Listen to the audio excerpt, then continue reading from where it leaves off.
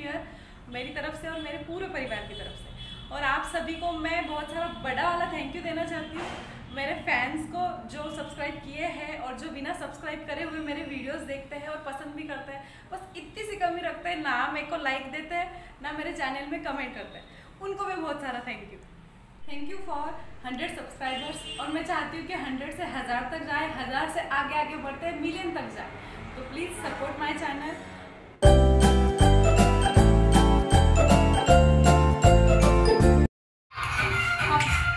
Happy